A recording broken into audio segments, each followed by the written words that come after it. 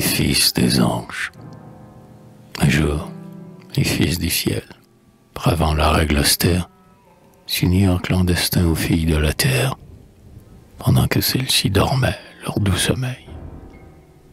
Qui nous a mis, Seigneur, ces flammes de soleil et ces nimbes parmi nos longues chevelures?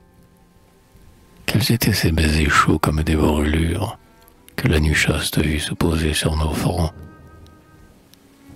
C'est d'un mal inconnu, divin, que nous souffrons, et nous n'avons jamais été comme nous sommes. Ainsi dirent tout bas les épouses des hommes, le matin, en peignant leurs cheveux. Et depuis, on les voyait rester longtemps autour des puits, immobiles, avec la cruche de grès rose à l'épaule, disant parfois C'est une chose grave, et concertant jusqu'au soleil couché. Hélas, pendant la nuit du mystique péché, elles avaient conçu sur le baiser des anges. Oh là, femme, voici des rejetons étranges, crièrent les époux quand les furent nés. Et c'est mal à propos que vous nous les donnez. Leur front a des lueurs d'étoiles qui se lèvent. Leur œil jette l'éclair comme l'acier du glaive les jeunes guerriers portent pour le combat.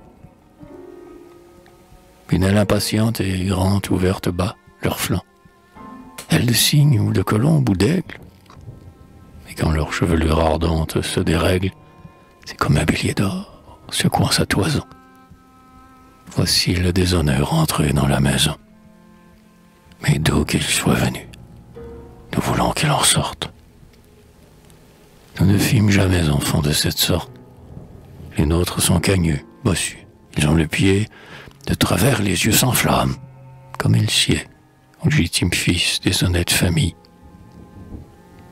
Là-dessus, les époux firent venir les filles, que l'esclavage courbe aux travaux les plus vils. Vous allez emporter ces bâtards, dirent-ils. Vous les exposerez loin de toute citerne, dans un bois que le cri des lionnes consterne, sans eau, sans fruits, sans pain. Ici loin des souris, un seul, périrez toutes.